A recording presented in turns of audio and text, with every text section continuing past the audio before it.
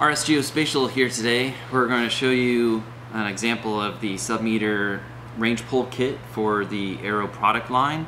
So for example, if you want to buy the submeter Arrow 100 or the Arrow LITE, but you'd like to use it for your range pole, what you'll need to purchase is this kit, and this kit includes a bracket to attach to the Arrow 100, and then this will clamp onto the range pole and attach to the bracket holding the Arrow 100. You will need this antenna mounting plate to hold the antenna, and then the kit also includes this shorter antenna cable.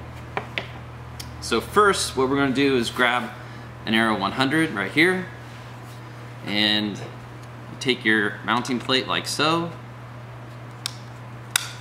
place it on the top like this,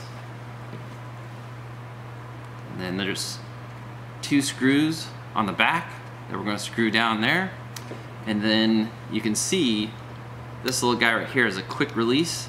This is where the range pole will go. You'll tighten the range pole on like that, and then once this is on the range pole, you can grab this and it'll lock in like so, and then you can actually leave this on the range pole and then just pop this off and take the Arrow 100 off so that the Arrow 100 can be stored when you're traveling or have to hop back in the car to go to your next location.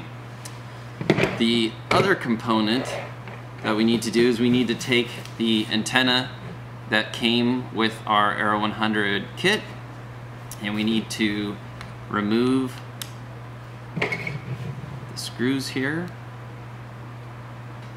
so basically there's a magnetic plate on the bottom of this antenna and it's held down with these four screws which we can then use these screws to mount the antenna onto the metal antenna mounting plate.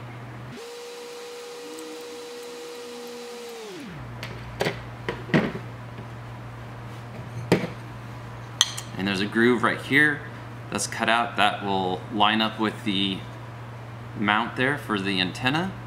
So we just have to line up our full four holes here and hold on to this plate in case you ever want to uh, put it back on so that you can mount your antenna, uh, say on the top of your car or uh, tractor or whatever other vehicle you may want to use it with.